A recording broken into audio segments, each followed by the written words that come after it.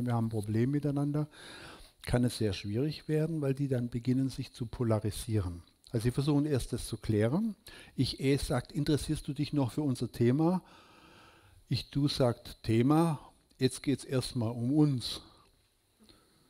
Ich es denke, ja, ob es um uns geht, ist für mich zweitrangig, weil wenn es nicht ums Thema geht, ist das die Klärung für mich ohnehin hinfällig. Da sagt ich du, aha, Verstoß gegen Kants goldene Regel, du darfst nie die Beziehung nur als Mittel zu deinen Zwecken verstehen. Dann ist er also in der äh, Missbraucherecke und der sagt, du immer mit deiner Gefühlsduselei, du stiehlst mir dauernd die Zeit und hängst an mir wie eine Klette, aber ich komme mit dir nirgends hin, was mir wichtig ist im Leben. Dann ist äh, natürlich ganz schön Dampf in der Bude und dann geht jeder auf klettert jeder auf einen anderen Baum, auf, auf den sein und sagt, und bevor du nicht von deinem runterkommst und dich wie ein Mensch benimmst, können wir nie wieder zusammenkommen.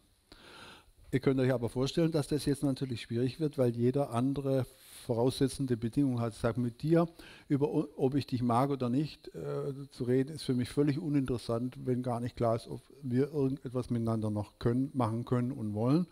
Der andere sagt, ob ich an dem mitmachen möchte, das interessiert mich gar nicht, wenn ich nicht weiß, auf welcher Basis wir das miteinander machen können. Also da sind ja auch schon viele Ehen und Partnerschaften dran gescheitert und nicht wenige Organisationsberatungen, die ich hatte, haben sich in diese Polarisierung äh, hineingearbeitet und finden dann einfach schlecht daraus heraus, weil wir dann so Camp David Atmosphäre haben. Jeder verlangt vertrauensbildende Maßnahmen nach seinem Gusto, die für den anderen aber nicht die Dimension sind, wie man eigentlich Vertrauen bildet. Das heißt, da ist es sehr hilfreich, wenn beide verstehen, wir sind verschiedene Typen. Also das, das ist einer der Fälle, wo ein Metakonzept wirklich außerordentlich hilfreich ist, weil jeder sich lernt, leicht zu relativieren.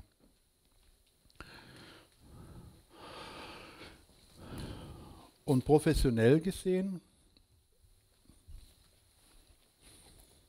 Da ist eine Frage. Moment, Mikrofon kommt. Du hast ja eben auch gesagt, dass es nicht, oft nicht so die ganz reinen diesbezüglichen Verhältnisse gibt. Und welche Möglichkeiten gibt es denn dann faktisch von diesen Bäumen runterzukommen? Oder also mit welchen Bildern oder Möglichkeiten arbeitest du weiter, um nach der Erkenntnis dieser Situation da eine Lösung hinzukriegen? Äh, also sagen wir mal, in der, in der Ehebeziehung, das wisst ihr selbst, oder, äh, oder in der Intimbeziehung ist es so, dass dann irgendwann jeder entnervt aufgibt, den umerziehen zu wollen. Oder sie fallen sich dann spät morgens dann doch noch in die Arme.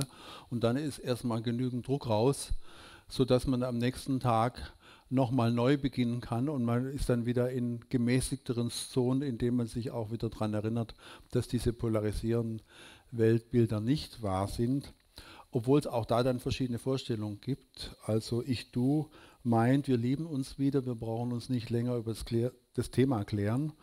Und ich, es meint, äh, für den Moment hat es keinen Sinn, das weiter äh, zu treiben. Wir äh, haben ja wieder ganz gut zueinander gefunden, aber äh, es ist, ist, schon noch auf dem Plan, das Thema.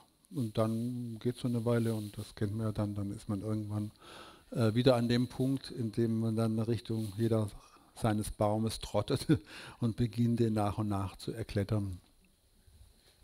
Ich habe sonst keine, also das Leben bringt uns ja Gott sei Dank oft auch einfach ganz von selbst wieder aus den Polaritäten runter. Ich wüsste jetzt im Moment kein Manöver, außer das zu erzählen. Also wenn ich zwei, die sich so polarisiert haben, die aber beide eine Bindung zu mir haben, der ich ein Spektrum habe, dass ich beide verstehe und auf beide reagieren kann, sodass beide nach ihren Kriterien sich von mir verstanden fühlen. Äh, ich erkläre aber beiden, was auch am anderen richtig ist und wie schade das ist, dass sie sich gegenseitig in die Polarität treiben, weil beide ärmer werden dadurch. Ist eigentlich der Hauptmodus, der sich da für mich eigentlich sehr bewährt hat. Also da ist wirklich äh, ein intellektuelles Verstehen ausgesprochen nützlich. Setzt voraus, dass ich selbst ein Metabewusstsein habe und nicht völlig einseitig Partei bin, obwohl ich meine Vorlieben habe. Und das wäre jetzt das Professionelle, sowohl für mich, meine persönlichen Kompetenz, als auch das Werteklima, das in einer Abteilung gilt. Äh, es ist eben wichtig, dass in jeder Abteilung sowohl die Ich-Du-Dimension gewürdigt wird und die Menschen in ihrem Beitrag, die dazu besonders gut beitragen können, als auch die Ich-Es-Dimension gewürdigt wird. Wenn ganze Abteilungen dann äh, auf einseitig werden, also wenn eine, früher hatten wir manchmal Bildungsabteilung, ich erinnere mich in einem Konzern, da wurde ich als Referent zu einer Bildungsabteilung eingeladen. Ich dachte, ich bin in, äh, äh in einen Strickkreis mit Kaffeekränzchen geraten. Also dass ich mich eigentlich zu einem Thema verpflichtet habe, das war relativ uninteressant für die. Und als ich sagte, können wir denn irgendwie auch mal zum Thema kommen, meinten die, entspann dich.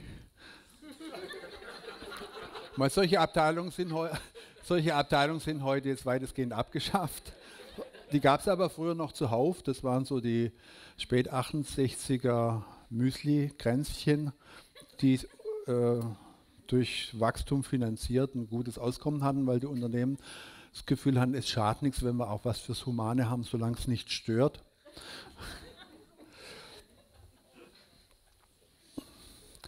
äh, und diese Abteilung äh, fühlt sich natürlich sehr unverstanden von, de, von dem Controller, mit dem sie gerade zu tun hat, weil das ist ein fürchterlicher Menschenschinder und hat keinerlei Sinn für irgendetwas, was menschlich ist.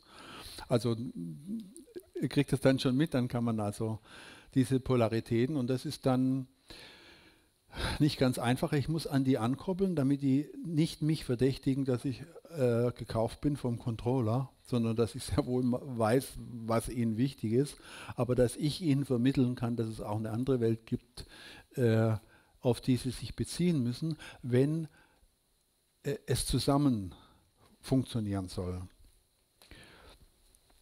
Und ähm, das ist, wenn man eine Zielvorstellung hat, natürlich die, die sich daraus ableitet für jedes Individuum, wie auch für Unternehmenskultur, äh, für jede Abteilungskultur. Es sollte ein integrierter Ich-Du, Ich-Es-Stil da sein und man sollte sich wechselseitig wertschätzen, aber auch sich wechselseitig relativieren dürfen. Für uns Professionelle heißt es, und das gilt für alle diese Schemata, wo wir uns auf einer Seite äh, wiederfinden, dass wir natürlich unsere Präferenzen haben dürften. Und im, im Dauerbetrieb suchen wir dann eher ein Klima, in dem wir eher ein Heimspiel haben. Aber wir müssen lernen, das ganz im, uns im ganzen Spektrum aktionsfähig zu entwickeln und uns wohlzufühlen. Dass wir nicht entweder nur mit Milieus arbeiten, die sowieso uns äh, auf unserer Seite sind, oder Milieus, in denen es gemischt ist, trimmen, dass es zu uns passt, zu unserem Weltbild. Weil wir dann in dem Sinn eigentlich eine Neutralität verlieren. Und dann holen sich die anderen dann Ich-Es-Berater und ich und die einen Ich-Du-Berater und dann polarisiert sich das System auf der Beraterebene oder auf der Vorstandsebene oder sonst wo dann genauso es geht von dem Grundgedanken aus der Jungschen Psychologie, ein, eine, dass eine integrierte Persönlichkeit, die reifere Persönlichkeit, dass eine integrierte Wirklichkeit die reifere Wirklichkeit ist. Also dass die Polarisierung immer eine ungute Vorstufe einer möglichen Integration ist.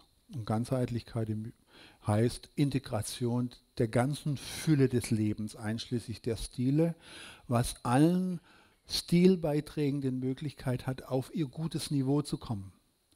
Also das ist ja, aber das kommt jetzt vielleicht eher bei dem Weltbild der jüngsten Psychologie, wenn eine der Perspektiven ausgegrenzt wird, dann sinkt die auch auf ein niedriges Niveau ihrer Selbstverteidigung.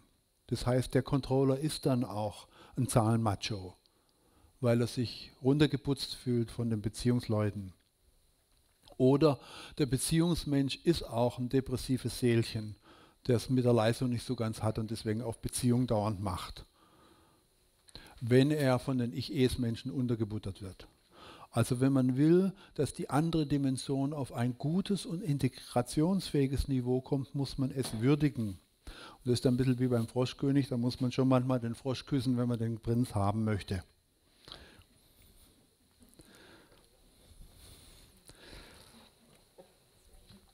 So, das wäre Ich, du, ich, es Menschen. Da, damit habe ich aber auch wirklich schon manchmal Leuten völlig aus der Bredouille geholfen, wo wir gedacht haben, wir haben riesen Sachthemen. Und es war nur das. Ja, und deswegen wäre ein Jammer, wenn man das Konzept nicht kennt. Das gilt auch für ein anderes Konzept, das ich dann jetzt mache, wenn es keine Fragen oder Beiträge mehr gibt. Das ist das Konzept der Intensitätsverstärker oder Intensitätsverminderer. Das geht zurück auf einen Vortrag von Roland Fischer, dem Psilocybin-Forscher. Ich glaube, es war 1900, weiß nicht, 80 oder sowas in Lorette de Mar. Da gab es ein paar Jahre lang in spanischen Klöstern New Age-Kongresse, wo der Dalai Lama und der äh, na, wie heißt der, der, der englische Familienpaartherapeut, äh, Orny Leng äh, und Vertreter des Sufismus und der Arnold von Kaiserling, also alles, was damals Rang und Namen hatte, äh, hat sich dort eingefunden, weil man eine Zeit lang geglaubt hat, dass man wirklich unter dem Label humanistische Psychologie eine neue Synopse hinkriegt. Und in der Zeit, diese ganzen Kongresse habe ich damals mitgemacht, was für mich ein großer Gewinn war. Und da war eben auch der Roland Fischer, ein Psilocybin-Forscher, und der sagte, die Menschen suchen sie ja, wenn sie Psilocybin oder andere Drogen nehmen, normalerweise ein Ausbrechen aus ihrem Normalbereich, den er dann Normophren nannte. Also um nicht für das eine einen pathologischen Begriff und für das andere einen normalen Begriff hat er das, die Normalität Normophren genannt. Und da hat er eben festgestellt, dass es Menschen gibt, wenn sie aus ihrem Normal funktionieren, was ja oft auch ein Gewohnheitsfunktionieren ist, in der wir auch nicht in besonderer Weise mit uns und der Welt in Kontakt sind, sondern oft auch ein Stück äh, im Gewohnheitsbetrieb laufen, äh, wenn die Menschen daraus ausbrechen wollen, weil sie das Bedürfnis haben oder weil sie einfach äh, ihre Gewohnheiten irgendwie auflösen müssen, weil ihre äußere Welt zusammenbricht, eine Beziehung kaputt geht. Oder irgendwas, dann suchen Menschen äh, ihr Heil in verschiedenen Richtungen. Die einen suchen die Ausnahmezustand Richtung Intensitätsverstärkung. Also die wollen dann, dass mehr Emotionen sind, dass spritzigere Gedanken da sind, dass man lauter redet, dass man sich bewegt, dass mehr Dynamik da ist. Dann kommen sie aus ihrem Normalen raus und dann funktionieren sie besonders gut. Im spirituellen Bereich äh, sind das zum Beispiel die Trommelrüten, die über Tage gehen, oder der Tanz der Derwische. Das ist sozusagen die ganzen äh, Gewohnheitsmuster auf die Weise von sich abschütteln und zu einer Erfahrung von selbst kommen. Ich habe das jetzt hier mal, damit es nicht so spirituell klingt, einfach Flow genannt. Dass er also mit besonders guter Fühlung zu sich, zur Welt, zur Leistung zu Prozessen sind. Der Intensitätsverminderer, zu dem bekenne ich mich, wenn der möchte, dass es, wenn es für den essentiell ist, dann möchte er gerne den ganzen Trubel mal weg haben. Er will es ganz ruhig haben, alles runtertunen, damit das, was ihn interessiert, äh, überhaupt über die Wahrnehmungsschwelle kommen kann. Ähm, und wenn der das Gefühl hat, er ist mit was Wichtigem in Kontakt, wird er ganz still. Der Intensitätsverstärker, der geht voll in eine Wow-Dynamik. Meditativ gesehen kann das zum Beispiel dann die Zen-Meditation sein. Wobei mir persönlich die jetzt nicht so arg liegt. So arg still sitzen will ich nur auch wieder nicht. Aber äh, die Intensitätsverminderung führt dazu, dass ich in gute Fühlung komme also auch in Flow kommt. Wenn wir jetzt lauter Intensitätsverstärker zusammen haben und die wollen sich dann aus dem Normalen rausbringen, dann solche Abteilungen kennt ihr. Die stehen dann Chaka-Chaka-mäßig auf den Tischen und dann wird es wesentlich. Wenn die Intensitätsverminderer zusammen sein, die sagen jetzt erstmal ganz ruhig, bis dann der erste schnarcht und man nicht weiß, ob man wirklich in Flow gekommen ist. ähm, Aber zumindest können die im Gleichklang Auswege aus der Normalität suchen. Ein Problem ist natürlich, wenn ein Intensitätsverstärker und ein Intensitätsverminderer zusammenkommen, also zum Beispiel meine Frau und ich oder meine geschätzte Kollegin Angelika Glöckner und ich.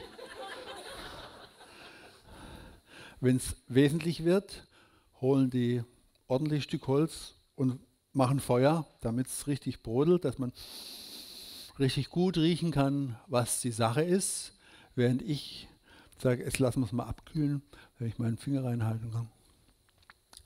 Was könnte es denn sein? Man erkennt in diesem Bild natürlich sofort, dass wenn wir zusammen ein Seminar leiten, wir ein bisschen ein Problem haben, denn wenn ich es auf meine Temperatur stelle, ich rieche gar nichts, hier ist nichts los. Wenn Sie es auf Ihre Temperatur stellt,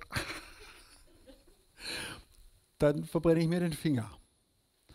Und wenn sie mich beglücken möchte mit ihrer ganzen Begeisterung, was, dass sie voll im Flow ist, haut es bei mir die Sicherung raus.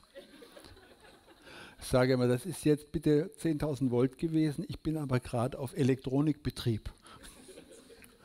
wenn ich umgekehrt äh, äh, Sie auf was aufmerksam machen möchte, was mir gerade so deutlich spürbar wird, dann guckt sie und sagt, mm, ja, äh, können wir das mal ein bisschen, damit ich es verstehe. Also wir haben da manchmal Verständigungs- wie auch Abstimmungsschwierigkeiten.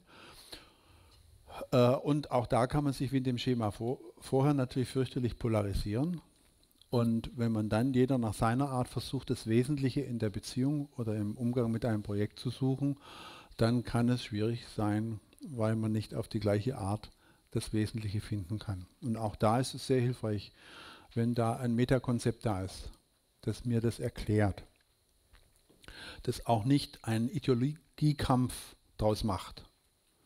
Und ich habe ja so ein bisschen zum Teil leicht polemisch erzählt, ne? da kann man sich dann leicht vorstellen, wie jeder sich am edleren Teil sieht. Wir bringen die Sache nach vorn und ihr Schlafmützen und Lehmschicht und was man alles hat, Bedenkenträger, ihr hockt nur da, macht den Hintern breit und da kommen wir ja nirgends hin und die anderen sagen, ihr seid, ihr, ihr seid so schnell unterwegs, egal in welche Richtung, dass ihr gar nicht, dass ihr überhaupt äh, nicht zur Besinnung kommt. Ihr seid zwar schneller dort, aber nicht da, wo man möglicherweise hin will. Und da ist ganz gut, sich mal zwischendrin hinzusetzen und sich umzugucken, wo man eigentlich gelandet ist und wo man hin könnte. Also ich glaube, man kann das ganz leicht auf unterschiedlichen Dynamiken übertragen.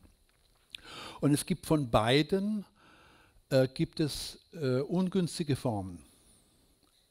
Ja, also wenn jemand nur reflexhaft reagiert, ist dort, wo er eigentlich leise werden müsste, mal zuhören, aber er ist ein chronischer Intensitätsverstärker, macht er ganz viel Lärm und wundert sich dann, dass er nichts hört. Und derjenige, der es erst spürt, weil es eine sehr dynamische Sache ist, der sagt, das will ich aber jetzt gerne mal bitte ganz ruhig serviert kriegen, der kommt natürlich auch nie zurecht. Und deswegen kann sein, dass wir lernen müssen, unser eigenes Repertoire zu erweitern, weil wir manchmal irrtümlich, reflexhaft in, der, in die Richtung unterwegs sind. So, wir müssen dann lernen, gerade wenn wir es am nötigsten haben, weil wir nach was Wesentlichem suchen, weil uns nervt die Eintönigkeit unseres Normalbereichs, weil wir ein Flow-Erlebnis haben und dass wir dann nicht reflexhaft Intensität erhöhen oder Intensität vermindern, sondern uns auch ein bisschen damit beschäftigt, ist das, was im Moment wesentlich sein kann, durch Intensitätserhöhung oder vielleicht eher durch Intensitätsverminderung eher möglich.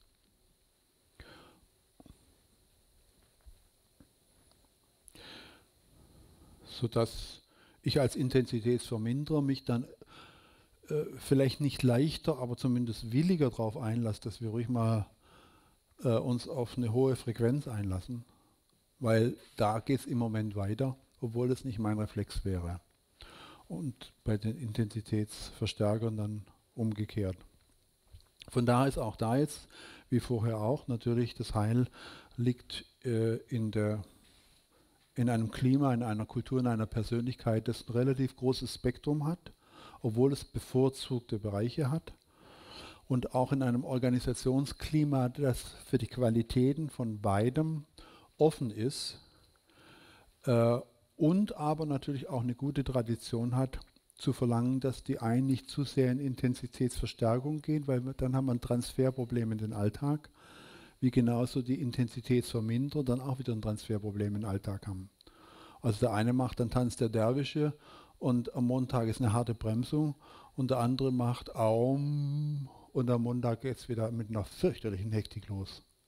Also auch da denke ich immer auch ein bisschen äh, an einen, dieser Spruch ist mir mal sehr geblieben aus dem Zen, der sagt, after enlightenment, the laundry. Das heißt, nach der Erleuchtung, kann man jetzt mit Flow mal gleichsetzen, ist Wäschetag. Das, oder einer meiner Sprüche im blauen Büchlein, die er findet, viele Menschen haben erleuchtende Momente.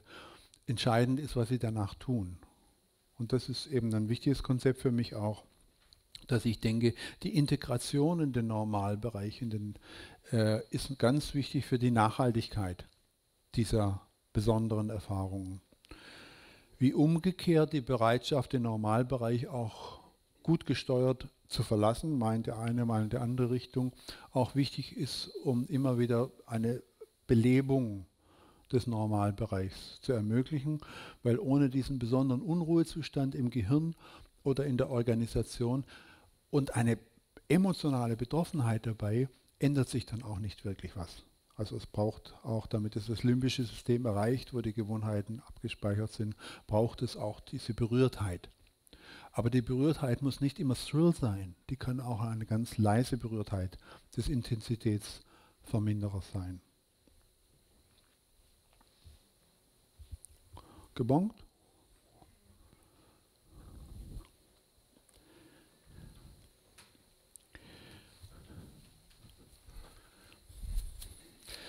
Also ich strebe an, dass wir jetzt, das könnten wir schaffen, ich habe noch, dass wir die Persönlichkeitskonzepte noch zum Mittag durchkriegen. Da sind wir jetzt beim Konzept, das ja die meisten von euch durch MBTI, Myers-Briggs Typenindikator kennen. Das ist eine, die sich eine, eine, eine äh, Operationalisierung, eine technische Weiterentwicklung dieses Gedankenguts, die offenbar nicht in so eine schlechte Richtung gegangen ist und die für viele auch genutzt wird als ein guter Anlass, über unterschiedliche Wirklichkeitszugänge und unterschiedliche Typen zu reden.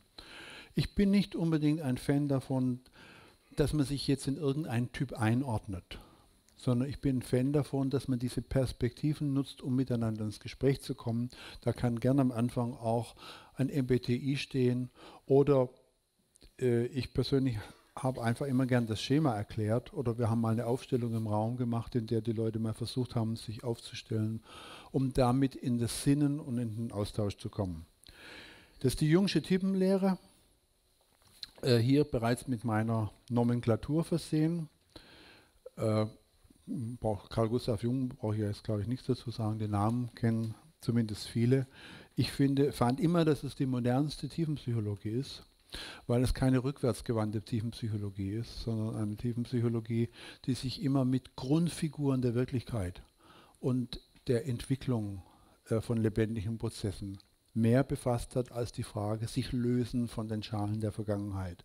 Also eine finale, auf etwas ausgerichtete Psychologie und eine Psychologie, die sagt, es ist in Ordnung, über lange Zeit sich einseitig zu entwickeln, aber wenn man ein reifer Mensch werden will, wird es irgendwann Zeit, die unterbelichteten Seiten mit in die Persönlichkeit einzubeziehen. Es ist, wie ich das nenne, eine Integrationspsychologie, was sie mir sehr wertvoll macht. Ich komme dann später nochmal drauf, weil ich glaube, dass äh, wir nicht nur eine arbeitsteilige, sondern auch eine kulturteilige Gesellschaft mittlerweile haben und eine persönlichkeitsteilige Gesellschaft. Und eine der wichtigsten Herausforderung ist heute äh, Integrationsfähigkeit nicht nur zu wollen, äh, sondern auch in ganz vielen Konzepten auch herzustellen und die Konzepte so zu machen, dass sie integrationsgeeignet sind, weil unsere Welt droht auseinander zu fliegen und alle müssen daran arbeiten, das wieder zusammenzukriegen. Ganz kurz, das, das ist jetzt nicht von mir das Schema, deswegen will ich eigentlich nur ganz kurz erläutern, aber ganz kurz sagen, was für Änderungen ich vorgenommen habe und wie ich es verwende. Ich verwende die Jungsche Typenlehre nicht so sehr, um äh, Leuten zuzuordnen, was ihr Zugang zur Wirklichkeit ist, also was für ein Typ sie sind, sondern um unterschiedliche Arten, wie man überhaupt an Wirklichkeit rangehen kann, zu charakterisieren. Und da ist es so, dass äh, Wahrnehmen, der Jung nimmt das Empfinden, aber das ist ein Sprachgebrauch, den ich verwirrend finde. Für das, was über die Sinne auch durch Apparate erweitert bei uns ankommt, verwenden wir heute den Begriff Wahrnehmung. Das ist damit gemeint, das ist, der, das, das sind, das ist die, der Wirklichkeitsbezug, mit dem wir das Vorhandene zur Kenntnis nehmen. Das ist die Wahrnehmung. Das ist der Zugang zur einen Hälfte der Welt. Die andere Hälfte ist das, was noch nicht vorhanden ist, was aber möglich ist. Also es geht davon aus, es gibt eine Potentialität. Und das hat Jung damals, wie ich finde, fälschlich Intuition genannt, weil Intuition eigentlich ein viel größerer Begriff ist. Ich finde, der richtige Begriff dafür ist Ahnen. Marie-Louise von Franz, eine der Nachfolgerinnen von C.G. Jung, hat das genannt, das ist die Nase für das Mögliche. Und wichtig ist, äh, Ahnen nicht zu verwechseln mit spekulieren, was sein könnte, sondern es geht davon aus, dass es eine seelische Funktion gibt, die von dem vielen, was im Prinzip möglich ist, ein Sensorium hat, was, was wirklich Wirklichkeit werden könnte. Nicht nur theoretisch, sondern was eine Potenzialität hat, so wie ein Stein, der oben auf dem Berg liegt, der rollen könnte. Nicht jeder Stein, der irgendwo liegt, sondern der, der vielleicht als nächster rollen könnte. Geht davon aus, dass es eine seelische Funktion gibt, das ohne Wahrnehmung, weil es dann ja schon wäre, sondern äh, das, was hinterm Horizont ist, schon begreift und dem hilft, es über den Horizont zu bringen. Wobei wir erkenntnistheoretisch als Konstruktivisten immer das Problem haben, finden wir dann die Ostereier, die wir selber versteckt haben? Oder hatten wir vorher tatsächlich eine Art von Wahrnehmung für etwas, was zur Verwirklichung drängt, aber nicht tut und auch nie tut, wenn niemand hilft, es zu verwirklichen. Also es ist ein Weltbild, das eben sagt, es gibt etwas Göttliches, was sein könnte, was aber unserer Hilfe braucht, sonst wird es auf dieser Welt nicht erscheinen, sondern als Möglichkeit an uns vorbeigegangen sein. Wenn ich auf diese Weise zu Vorstellungen komme über Wirklichkeit, gibt es nach diesem Schema zwei Arten, mich auf diese Daten zu beziehen. Das eine ist das gedankliche Ordnen und das andere ist das gefühlsmäßige Bewerten. Und das, der gedanklich ordnende Mensch ist der, der alles sofort wunderbar in eine Tabelle tut und ich sage, und was ist das jetzt wert, was da drin steht? Sagt er, weiß ich nicht. Gefühlsmäßige Bewertung weiß sofort, was er davon hält bevor er sich überlegt hat, worum es sich handelt. Und das sind jetzt die, diese negativen Polarisierungen, die man vornehmen kann. Der Ahnungsmensch ahnt alles, kontrolliert aber nie, ob das auch eintritt, was er ahnt. Also der Argwohn, sage ich in einer meiner Sprüche, Argwohn ist eine heruntergekommene Form der Ahnung. Anstatt dem zu sagen, vergiss den Argwohn, sagen wir, können wir nicht deine Ahnungsfunktion ein bisschen schulen, also, dass du die Sachen, die dann auch wirklich sein äh, äh, kommen, identifizierst und von denen unterscheidest, über die du spekulierst, die aber nicht kommen. Und wir alle kennen die Menschen, die ständig irgendetwas ahnen und es nie auffällt, dass es nie eintritt. Das stört sie aber nicht in, ihrem, in der Frische ihrer neuen Ahnung. Und die Idee in diesem jüngsten Schema ist einmal die, dass das vier unabhängige Arten sind, Menschen zu äh, Wirklichkeit zu managen oder auf Wirklichkeit zuzugehen. Und dass ein gereifter Mensch möglichst jede Wirklichkeit nach allen vier Kriterien ganz gut prüfen können sollte. Das heißt, ein ganzheitliches Urteil heißt eine Beurteilung, eine Inszenierung von Wirklichkeit nach, äh, nach Gesichtspunkten dieser vier Wirklichkeitszugänge. Also ich, es gibt konkrete Daten, die man zu einem Projekt haben kann, ob das läuft oder nicht, die ich zur Kenntnis nehme. Dort, wo ich was äh, einordnen und rechnen kann, mache ich das auch, aber das wird nur begrenzt bleiben. Es, auf der anderen Seite habe ich ein Gefühl, ist es was Gutes? Also auch wenn ich es rechnen kann, ist es auch was Wertvolles, gefühlsmäßiges Werden. Und ist es, schreibe ich nur was fort, dass ich denke, wenn das so weitergeht, müsste das wohin führen oder habe ich ein Gefühl dafür, ja, das wird es sein für die Zukunft. Und Jungsche Psychologie geht davon aus, dass ein Mensch Präferenzen und Stärken entwickelt in der ersten Lebenshälfte, wie immer man das in Jahren jetzt einzuordnen hat, und dass er da gut drin wird, dass aber in der zweiten Lebenshälfte es nicht um Vervollkommnung dieser Einseitigkeit geht, sondern um Vervollständigkeit, Vervollständigung durch die anderen Perspektiven der Wirklichkeitszugänge. Das generelle Prinzip der jüngsten Psychologie. Das heißt, ich war, äh, habe mich so eingeschätzt in den jungen Jahren, dass ich ein, äh, ich bin erste Präferenz ahnen, zweite Präferenz gedanklich ordnen. Und deswegen habe ich immer irgendwelche Ideen gehabt, was da in Zukunft sein wird in der Hochschuldidaktik und habe ganz komplizierte Papiere geschrieben, wie man das alles einzuordnen hat und Instrumente gemacht und so. Im Laufe der Jahre habe ich gemerkt, dass das äh, gedankliche Ordnen aber daran nicht das Wichtigste ist, sondern dass ich mir viel leichter tue, wenn ich ein Gefühl dafür kriege, ist das überhaupt was wert oder nicht, dass ich überlege, was ist es überhaupt wert, geordnet zu werden. Und ich habe immer besser gelernt durch viele Jahre Gruppendynamik und Wahrnehmungsschulung, äh, mich nicht besoffen zu machen mit meinen Ahnungen, sondern zu prüfen, was passiert denn auch tatsächlich. Und sind wir dahin unterwegs oder machen wir uns immer neue schöne Wolken an den Horizont? Sodass ich im Laufe der Jahre, glaube ich, in allen vier Modalitäten ganz gut kann und dadurch zu integrierten Urteilen kommen. Auch da gilt es, es ist gut, mal eine Nacht drüber zu schlafen, weil die nicht präferierten Funktionen manchmal ein bisschen langsam sind. Also das ist von daher ganz vernünftig. Die Idee ist auch, wie generell in der jüngsten Psychologie, wenn ich versuche, meine Probleme durch einseitige Vervollkommnung zu lösen, wird uns das, was ich in den Schatten abdränge, äh, bleibt minderwertig, wird nicht kompetent oder kommt nicht zu einer angemessenen Geltung und sabotiert mein Funktionieren mit der Idee, die Seele duldet nicht auf Dauer eine einseitige Entwicklung. Und das, wo, dem ich mich nicht im Guten zuwenden möchte, wie zum Beispiel der Ahnung oder den gefühlsmäßigen Bewertung, das wird mich als Plage heimsuchen, sei es in den Träumen oder sei es in einem Kollegen, der genauso ist, wie ich denke, so sollte das nicht sein. Und da kann ich dann auch viele Konflikte zwischen Menschen verstehen als Konflikte zwischen Wirklichkeitszugängen. Und oft polarisieren die sich auch, dass also die dann genauso inkompetent die einen werden wie die anderen. Und erst wenn sie sich aufeinander zubewegen, werden beide kompetenter und führen zu einer gewissen Integration. Also das, das jungsche Konzept der Typenlehre.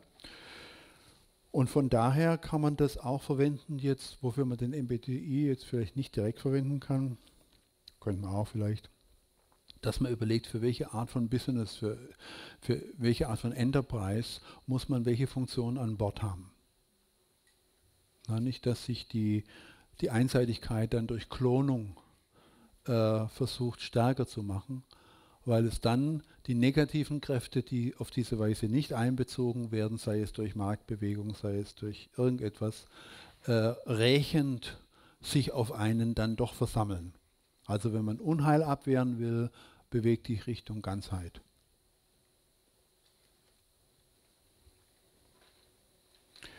Ja, das ist, ist das verständlich und äh, ich versuche damit auch so ein bisschen, was mich da wirklich an diesem System was ich daran spannend finde über das, was der MBTI uns Gesprächsanlass bieten kann. Ein Problem ist oft, dass, äh, und da wird es dann sehr differenziert, das können wir jetzt natürlich nicht machen, dass die Leute oft auch, äh, sei es anpassungsbedingt in ihrer Familie, in ihrer Umgebung, sich falsche Vorstellungen darüber machen, wie sie sich steuern. Die lernen zum Beispiel, sich immer gedanklich ordnend zu rechtfertigen, aber ihre Entscheidung treffen sie nach einer gefühlsmäßigen Bewertung. Aber weil ihr Rechtfertigungssystem sich abgelöst hat von ihrem tatsächlichen Steuerungssystem, haben diese beiden Seiten ihrer Persönlichkeit keinen Zugang zueinander. Das haben wir ja oft bei eingefleischten Naturwissenschaftlern. Die können nicht einsehen, dass ihre Grundannahmen auf Glaubens System beruhen, sondern die meinen, das wäre ja objektiv, weil alles gedanklich orten, ortenbar. Und manche Menschen, die eine unreife gefühlsmäßige Bewertungsfunktion haben, die meinen, dass äh, wenn es gefühlt ist, ist es schon wahr und braucht nicht durch die anderen Funktionen kontrolliert zu werden, weil die ja viel weniger menschlich sind. Also da gibt es viele unreife Handhabungen und Verständnis dieser Funktionen. Dann möchte ich noch auf ein Konzept aufmerksam machen, das von T.B. Kehler ist, aus der Welt der Transaktionsanalyse, das wirklich pragmatisch einen sehr hohen Wert hat. Das will ich jetzt nicht ausführlich behandeln. Ähm, in der TA wird es als, wurde es damals als Miniscript-Theorie gehandhabt. Das heißt, man ging davon aus, dass das Dynamiken sind, mit jemand, mit jemand sich in unglückliche Lebens, Erfüllung unglücklicher Lebenspläne hinein manövriert, indem er versucht, perfekt zu sein und um am Ende dafür einen endlosen Preis zu zahlen oder wegen der Perfektion zu scheitern. Jeder kennt solche Menschen. Oder versucht, äh, allen zu gefallen mit dem Ergebnis, dass er gar nicht weiß, wer er selbst ist. Und am Ende niemandem gefällt, weil keiner, keiner Menschen einer gefällt, der allen gefällt. Man will wissen, wer ist dieser eine Mensch äh, und so weiter. Ähm, T.B. Kehler hat es eben persönlichkeitspsychologisch hauptsächlich äh, behandelt als äh, kleine Dynamiken, die einen in Richtung Skripterfüllung bringen. Von daher ein, äh, ein psychologisches Konzept, auch ein Konzept, das sehr stark in dieser klassischen Skriptanalyse verankert ist. Äh, ich habe das losgelöst insofern, als dass ich gesagt habe, es geht jetzt nicht so sehr darum, Menschen und ihre persönliche Dynamik damit zu beschreiben oder als Diagnostikum dann typische Wörter, die jemand sagt, zu nehmen. Es wurde dann sehr technisch auch bei T.B. Kehler, sondern es geht darum, man muss ein Gefühl dafür kriegen, was für ein Klima, was für eine Atmosphäre, was für eine Kultur entsteht. Und ihr alle kennt hektische Kultur, wo eigentlich immer Hektik ist, ob eigentlich im Moment einen guten Grund gibt, sich zu beeilen oder nicht zu beeilen. Oder ihr alle kennt Mühseligkeitsstrukturen. Alle haben Schweißperlen auf der Stirn, auch wenn im Moment gar nicht viel geleistet wird. Oder ihr alle kennt äh, stark sein Kulturen. Es ist auf jeden Fall gesichert, dass uns keiner kann, ob es im Moment was zu verteidigen gibt oder nicht.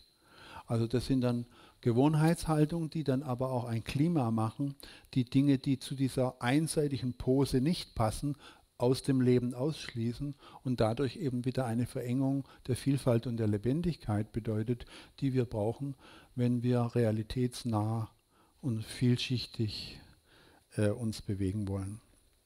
Also ich habe daraus Klimatag gemacht, hab, da gibt es auch ein Video dazu und eine Tonaufnahme, die findet ihr bei uns auf der Webseite Tonaufnahme, das Video glaube ich nicht, können wir mal draufstellen, wo ich dann einfach jemanden in dieser Dynamik vorspiele.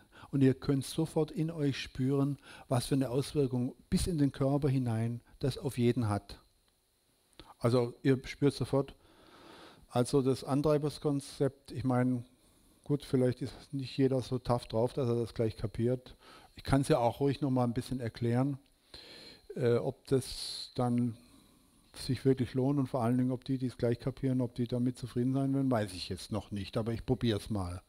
So, okay.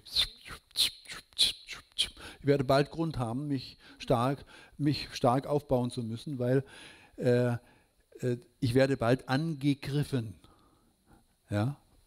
Denk aber dann, ich muss mich stark machen, weil die Welt mich so behandelt und merke gar nicht, weil ich mich so aufstelle, ziehe ich genau die Wirklichkeit auf mich, mit der ich mich mit dieser Haltung wappnen möchte. Ich habe dieses Konzept auch früher mal genannt, fünf verheißungsvolle Wege vom Regen in die Traufe. Was auch von mir dazugekommen ist, sind die Konterdynamiken. Das heißt, jemand, der merkt, dass er in einem Antreiber ist, merkt, das ist einseitig, der möchte auf die Gegenseite gehen, das ist aber nicht wirklich eine Lösung, sondern er fällt nur auf der anderen Seite vom Pferd. ich möchte das, ähm, am Anfang habe ich gedacht, es wären weitere Antreiber, bis ich erkannt habe, dass es nur die Rückseite der bekannten Antreiber äh, ist. Am Beeil dich Antreiber äh, zeigen, wenn jemand betont ruhig immer ist, könnte man denken, ah, der könnte sich aber doch ruhig mal ein bisschen bewegen. Er zieht sofort einen Beeil dich Antreiber auf sich. Also das Zusammenspiel der Antreiberdynamiken, das kann ich jetzt nicht darauf eingehen, aber das ist auch sehr interessant. Die komplementären Antreiber, die dann entstehen. Er zieht also sofort, sagen wir, ähm, einen sehr stark auf sich, der sagt, auch, also, oder ein Beil, ich könnte es mal ein bisschen.